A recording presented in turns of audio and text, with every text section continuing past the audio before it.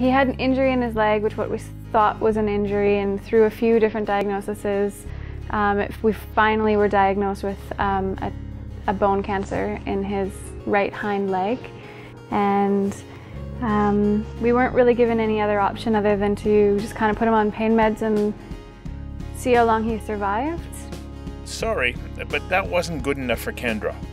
As you can see, she loves her dog Riker. She knew where the cancer was, and because Riker's health was declining rapidly, Kendra acted. She sought out alternative opinions and decided to save his life, but not his leg. But it doesn't end there. He was experiencing a lot of pain after surgery.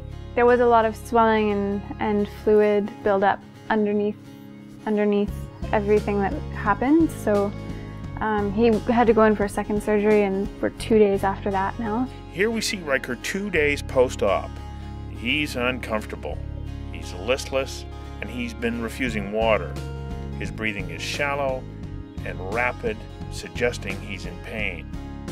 Kendra sought out an alternative to pain medication, the sort that simply numbs the senses. She's applied a fabric known as Farabloc. Riker's response to the cloth was immediately.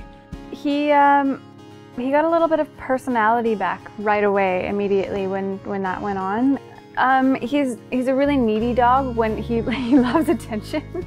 he normally kind of head butts you or, or grabs you with a paw if he's not getting enough and he's not really been doing much of that lately and he did that within a minute of the Farabloc being on to both of us so by wrapping the painful area with a layer of Farabloc fabric, you shield the body from some types of electromagnetic fields which can cause irritation to nerve endings.